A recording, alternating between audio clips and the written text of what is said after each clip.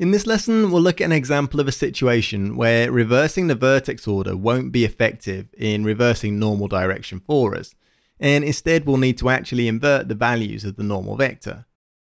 So I'll drop down a grid node, and I'll make this a size of just 1 meter by 1 meter, and I'll give it just two rows and two columns of points. And I've got this same cone here that we used in the last section, and let's say that I want to copy this cone onto these points of this grid, and I want them to face out at 45 degrees away from each edge of this grid. So I'll drop down a copy to points node, and I'll wire the tube into this first input, and the grid into the second input. And when I set the display flag on a copy to points node, we see that the cones are all pointing straight up along the y-axis. And this is because Houdini is automatically computing the normals of the points on this grid by averaging the normal of the primitives that they're attached to. The points are only attached to this single primitive, and so the normal of every point is in exactly the same direction as the primitive normal. So this isn't giving me what I want. None of the options on the normal node are going to help in this scenario because they all use methods of averaging primitive normals around a point to determine point direction. So I'm going to use a different method of computing the point normal, and for that I'm going to use a polyframe node. So I'll drop down a polyframe after the grid, now, we're going to be covering the polyframe node in detail in a later course in this series, and so we're only going to be scratching the surface in this lesson. The idea for now is really just to see an example of the kind of scenario when we'd reverse a normal vector rather than reverse the vertex order. We can see from the normal markers that this polyframe node is still computing the point normals to be pointing straight up in the y-axis, because in this normal option here, it still uses this same method of averaging the primitive normal around each point to compute the point normal. But we can see that we're also computing another vector here for the tangent. Houdini gives us a default attribute name of tangent u, because we're calculating the tangent of the curve in the u dimension.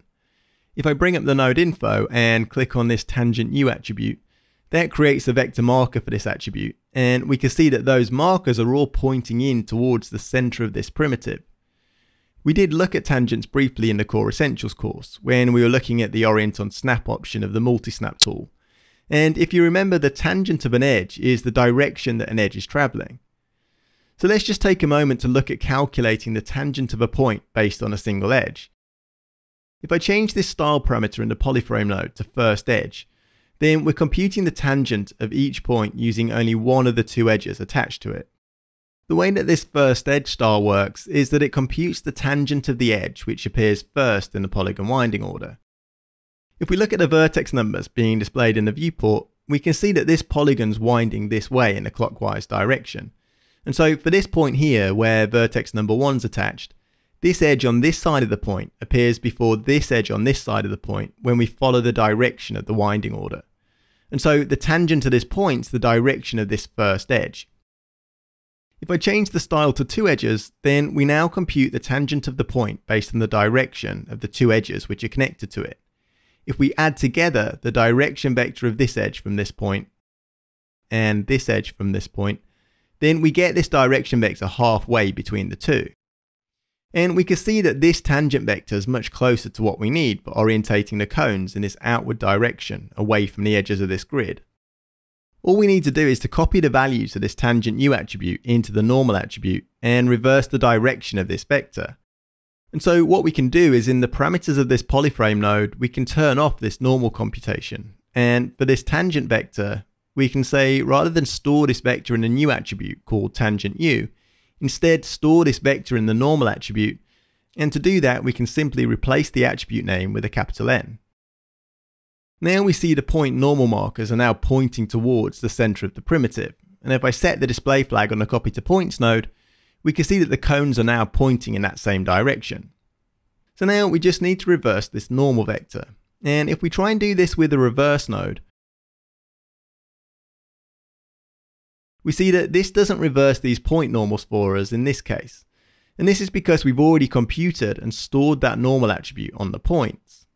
The reverse node's affecting the primitive normal, but it's not going to affect attribute values stored on points. Reversing the vertex order is only going to affect new normal computations that we make based on the primitive normal. So if I drop down a normal node after this reverse node, and choose to add normals to the points, we see that we compute those point normals based on the primitive direction. And in this case, the reverse node is influencing which direction those normals are computed to. But I don't want to recompute these normals, so I'll just toggle off this compute normal option. What we want to do is to take those attribute values, which we've already computed and stored on the points, and modify them by reversing them, which I'll do by enabling this reverse normal option here. And now we see that those normal vectors are facing in the opposite direction. When I set the display flag on a copy to points node, we see that the cones have been transformed so that the z-axis is aligned with this normal. So over these last two lessons, we've seen examples of when we need to reverse the vertex order and when we just need to reverse the normal vector. For surface shading, we need to reverse the vertex order to reverse the primitive direction. But when we're working with normals for orientating copy geometry, then reversing the normal vector using either this reverse option on the normal node or by multiplying the normal vector by minus 1 is going to give us the results we need.